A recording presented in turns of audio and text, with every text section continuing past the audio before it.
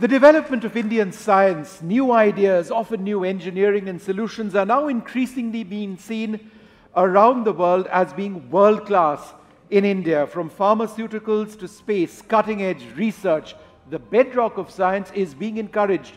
But while so much more needs to be done to encourage genuine research, it is time to honor some of our great science champions बिल्कुल वक्त है कि हम अपने वैज्ञानिकों को सम्मानित करें। विज्ञान की दुनिया में नई ऊंचाइयाँ छूने वालों को सम्मानित करती है हमारी अगली श्रेणी science icon of the year और संजय जी से गुजारिश है कि वो ऑनवलॉप खोल के विनर का नाम अनाउंस करें।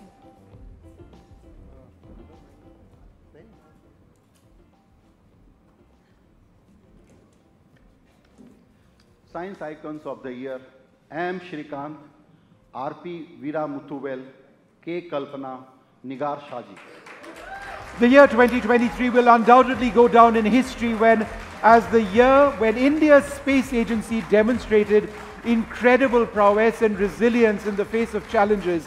The pinnacle of ISRO's achievements in 2023 was the successful first ever soft landing of Chandrayaan 3 near the moon's uncharted southern, southern polar region and India's first solar mission, Aditya L1 in September. और Aditya L1 Chandrayaan 3 के south pole पर land करना और इसके राह में आने वाली जो तमाम चुनौतियाँ थी, उनको बिना रुके, बिना झुके पार करने के पीछे जो चेहरे हैं, उनमें से कुछ चेहरे यहाँ पर हैं इस कामयाबी का के जो रचनाकार हैं वो ये हैं, doctor Shahji, doctor Veera Muthuvel, doctor Kalpana और डॉक्टर श्रीकांत